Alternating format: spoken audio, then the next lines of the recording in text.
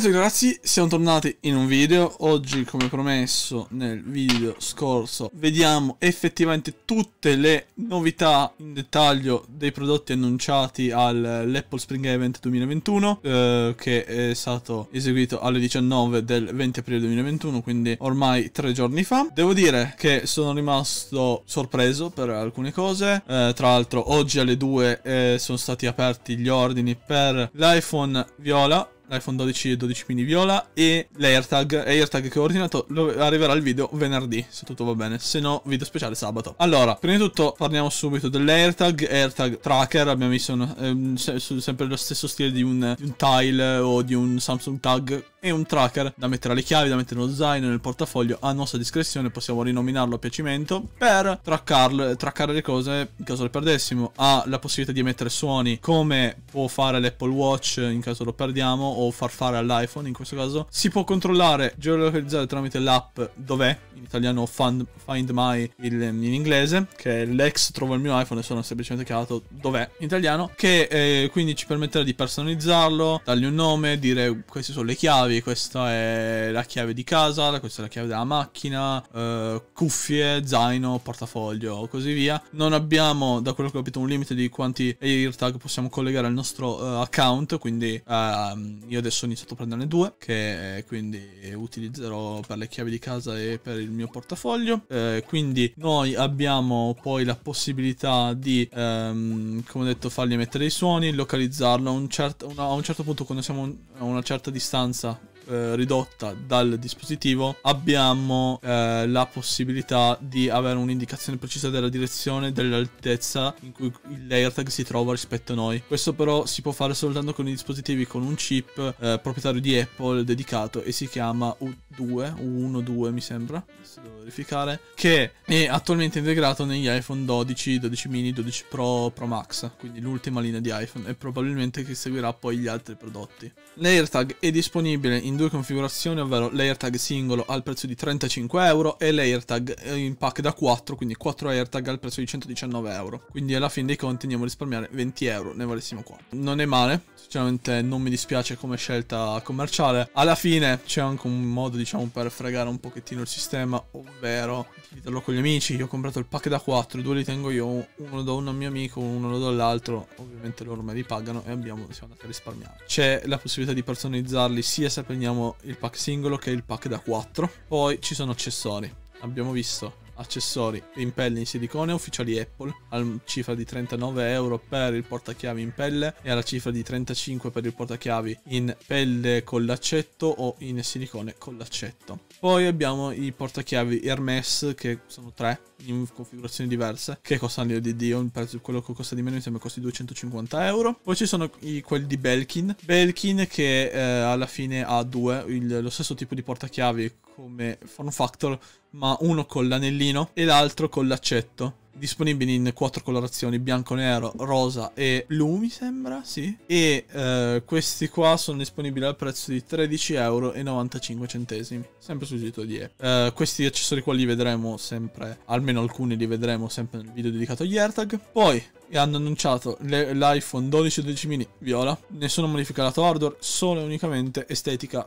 esterna per la colorazione sia della scocca che del back, della back cover, che saranno un viola un po' più saturato rispetto al viola che c'era nell'iPhone 11 niente di più, niente di meno. Abbiamo visto una nuova interfaccia per l'app Apple Podcast che ci permette non solo più di seguire il podcast che ci piace, ma direttamente il creator, così da far sì che in caso questa persona qua abbia più podcast, eh, più show, più cose, anche collaborazioni con altri, eh, possiamo eh, seguire lui per vederli tutti, anziché seguire il singolo podcast. E dovrebbe esserci poi una funzione per sostenerli in qualche modo, da quello che ho capito. Poi abbiamo visto un aggiornamento per l'Apple Card che adesso dà una funzione Apple Family, Apple Card Family che probabilmente permette di fare delle specie di carte prepagate da intestare anche dai minorenni eh, di, di, chiunque rientri nella sezione Apple Family del nostro account.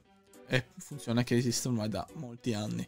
Eh, si vocifera l'arrivo presto in Italia, hanno detto che eh, arriverà in altre regioni del mondo eh, sentendo in giro, parlando con gente che lavora nell'ambito bancario in Italia, mi hanno detto mesi fa che ehm, l'Apple Card in Italia dovrebbe già esserci, è in fase di testing, quindi probabilmente c'è una buona speranza. Io spero che entro la fine del 2021 vedremo l'Apple Card anche in Italia.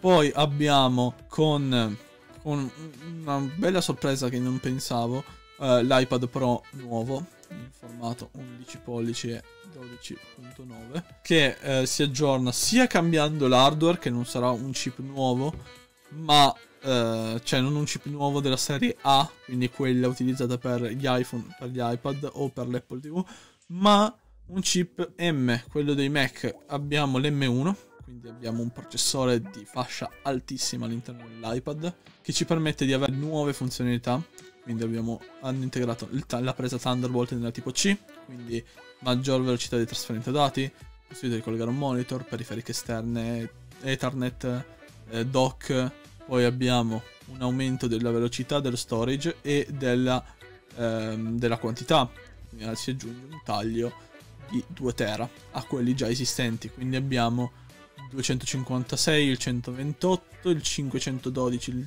1 tera e 2 tera si sap- sapevamo già che aumentavano i giga di RAM con quello da 1 tera, probabilmente aumenteranno ancora, ancora i giga di RAM con quello da 2 tera. Lo, scher- il, lo schermo del, dell'iPad da 12.9 pollici va a prendere la stessa tecnologia del Pro Display XDR di Apple, il, le, il, monitor 6K che è stato annunciato col Mac Pro nel 2019, eh, ovviamente nella formato eh, più, più, piccolo anche di risoluzione, non è, ovviamente non abbiamo un 6K su un iPad sarebbe anche un po' figo però. Con anche la combo della tecnologia mini LED, quindi dovremmo avere eh, migliori colori, migliore gestione dei contrasti, miglior saturazione, maggior luminosità e ovviamente maggior qualità. Tolto questo si aggiunge un altro accessorio per l'iPad, ovvero la Magic Keyboard per l'iPad Pro. Adesso si eh, cambia colore e si aggiunge il colore bianco. Niente di più, niente di meno. Poi abbiamo una di quelle cose che forse è stata una delle cose che mi ha colpito di più di questo evento Apple, ovvero l'Apple TV 4K. L'Apple TV 4K si aggiorna lato hardware con il nuovo chip A12 Bionic, per, nuovo per la linea Apple TV.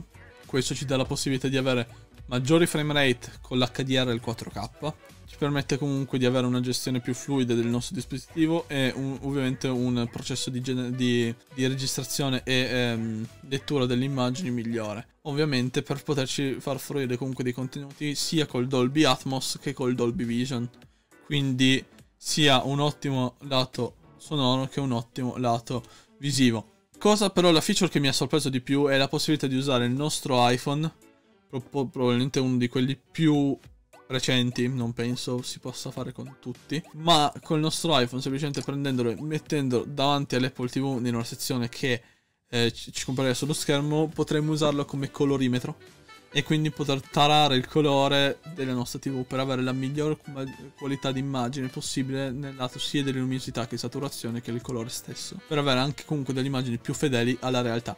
Questa cosa di solito si usa con dei dispositivi apposta acquistabili a parte che si mettono sul monitor che si usano per tagliare, tarare il colore per chi fa fotografie e videomaking a livello prof- eh, professionale e quindi di conseguenza ha necessità di avere il miglior colore possibile, quello più realistico e eh, fedele possibile che vale per tutti. Poi abbiamo eh, un nuovo telecomando, un nuovo con- controller chiamiamolo come vogliamo TV Remote, l'Apple TV Remote, che ha avuto un, redesign completo.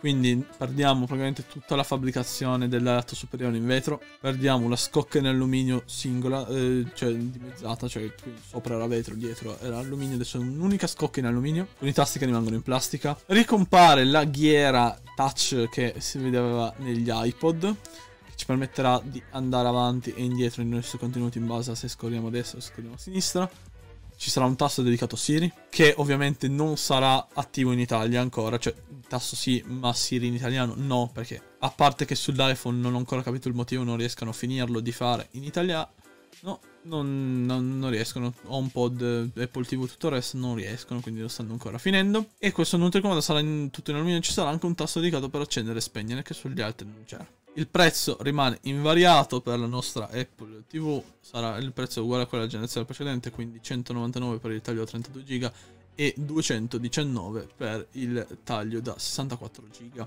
Poi abbiamo l'ultimo, l'ultimo pezzo, cioè l'ultimo annuncio che hanno fatto, ovvero l'iMac. L'iMac 24 pollici che va a sostituire attualmente solo l'iMac 21 pollici e mezzo della generazione scorsa. Eh, abbiamo un upgrade eh, sia di polliciaggio, quindi passando da 21 pollici e mezzo a 24. Abbiamo un redesign completo, non sembra minimamente più quello vecchio, con la possibilità di scegliere più colori, cosa che non era mai successa per un iMac, eh, con tanti colori. Poi ovviamente monta il chip M1 come processore in due configurazioni diverse però stavolta. Versione base 8 core di CPU e 7 core di GPU. Invece versione, la versione avanzata è quello che abbiamo già visto anche sugli altri dispositivi, quindi 8 core di CPU e 8 core di GPU. Con l'acquisto della quella base abbiamo delle cose in meno, quindi abbiamo il modello base, abbiamo due Thunderbolt USB 4 e basta con 8 GB di RAM e 256 GB di SSD e la Magic Keyboard normale. Con il modello più avanzato abbiamo 256 GB di ehm, SSD, 8 GB di RAM, due porte Thunderbolt USB 3, eh, USB 4, scusate, due porte USB-C, USB 3. Poi abbiamo la presa Ethernet che adesso non è più nella scocca dell'iMac ma è nell'alimentazione, cioè ha anche il connettore dell'alimentazione eh, lungo il cavo e la Magic Keyboard con il Touch ID. Poi c'è ancora una versione maggiore che è uguale ma con 512 GB di SSD. Ehm, sì, figo, interessante. Non mi ha sorpreso più di tanto. Alla fine abbiamo una risoluzione 4K e mezzo. Abbiamo già visto gli iMac col 5K, il Pro XDR da 6K, quindi come pannello non mi fa impazzire. E comunque sarà comunque un ottimo pannello, non mi fa impazzire. Le altre modifiche sono state lato speaker, lato microfono e lato video per favorire le meeting, le riunioni, le cose da casa, Zoom, Discord, Google Meet, quelle cose lì. Sinceramente non mi sentirei di acquistare questo prodotto, almeno per me. Attender, io attenderò un modello 27, 28 pollici, 32, sono quelli tagli vociferati ovviamente che dovrebbe essere sempre 5K, con anche un processore più potente rispetto all'M1, perché dovrebbe essere già una fascia più alta, più pro. Questi erano i, i vari annunci di questa Apple Conference 2021 per la primavera. Ovviamente sappiamo già che in data di, ehm, di, giugno, a inizio giugno se non sbaglio il 6 o 7, ci sarà il WWDC 2021. Eh, non abbiamo avuto altri annunci quanto Apple Watch, iPhone, altri tipi di Mac, roba e musica tipo AirPods. Eh. Quindi mi aspetto in futuro altro. Probabilmente qualcosina magari ce lo sparano fuori anche al WWDC. Io vi ringrazio per aver visto questo breve video riassuntivo di tutto quello che è stato annunciato in questo evento. Fatemi sapere la vostra opinione nei commenti. Lasciatemi un bel mi piace per farmi capire che quello che faccio interessa a qualcuno. Ci vediamo ovviamente in un prossimo video che saranno dei video interessanti e segnatevi per la prossima settimana l'arrivo del video degli AirTag. E poi vediamo, l'iPhone viola non arriverà, ve lo dico già subito. L'iMac probabilmente non arriverà. Sto ancora pensando all'Apple TV, sto ancora cercando di capire se ne vale la pena o no. Vedremo. Io vi ringrazio, ci vediamo in un prossimo video. Ciao ciao!